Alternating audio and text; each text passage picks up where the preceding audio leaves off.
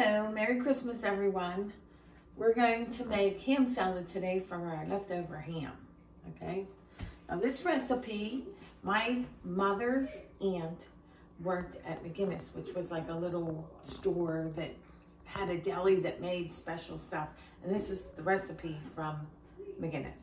Okay, so first thing you're gonna do is you're gonna get your ham. I don't know how much this is, but whatever. Okay, so you get your ham and you cut it up so that it can fit in the grinder. I just cut it in slices. I did take off um, some of the fatties, like see this? Cut that off. Okay. All right, now just stick it in the grinder, hopefully.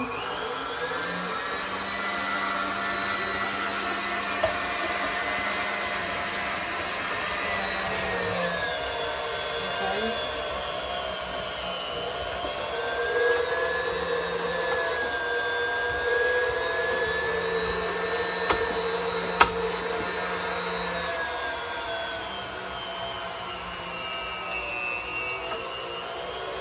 Um,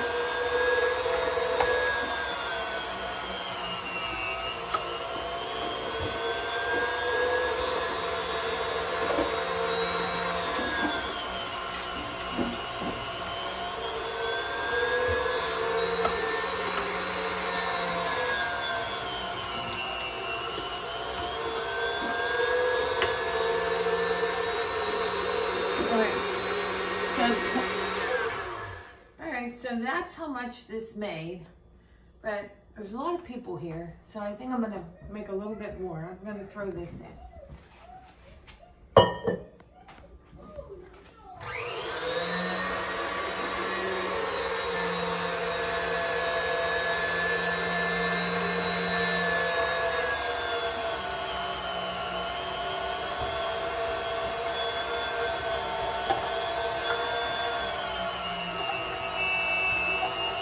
Alright, that looks pretty good.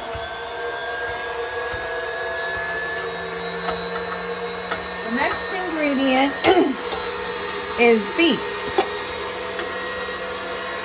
Okay, I'm using um, I'm using little small whole beets, but you can use sliced beets if you have them.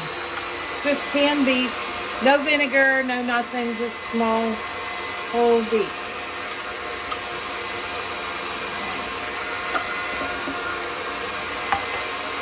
That gives it the red color. So far we put five in.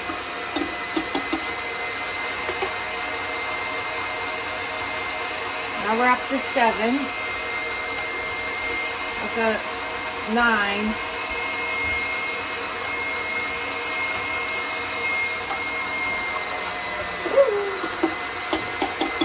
Okay, let's see how that looks. Let's give it a stir. Okay. Then I'm gonna get relish, sweet relish. It's on the counter. Okay. I don't know what this is in here, but I'm gonna finish off that jar. All right. Just put in what you think looks good.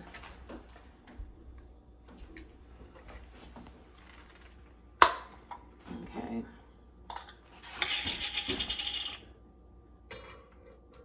Okay, that's good. And then mayonnaise. Oh, let's get a spoon.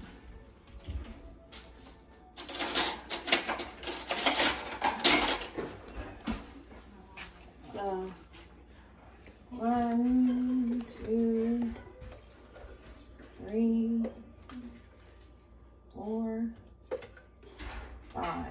Okay, probably a little more than five. Let's take it over here and stir it up.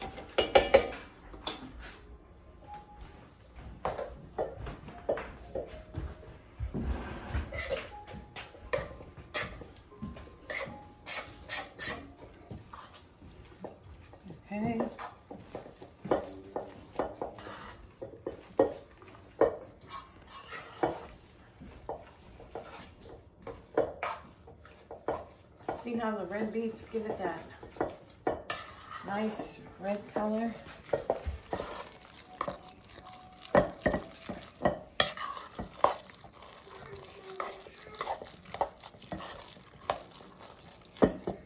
think I'm gonna add just a pinch more relish.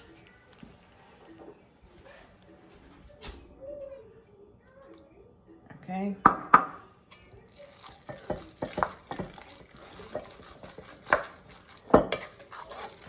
And now for the last ingredient is brown sugar.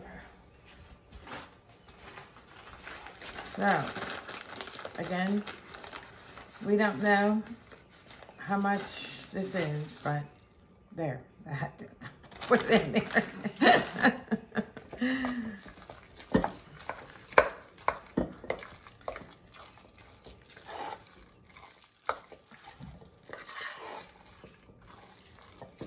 Okay. Looks pretty good. And you can taste it and see what you think and add more relish. I don't think you want to add more beets. It looks pretty good, I think. And um, you could add more mayo if you think it's too dry. Or if you don't, if you don't think it tastes quite right, you could throw a little more um, brown sugar in. So, bon appetit. Hope you like it. And as always, I forgot to say, don't forget to like and subscribe.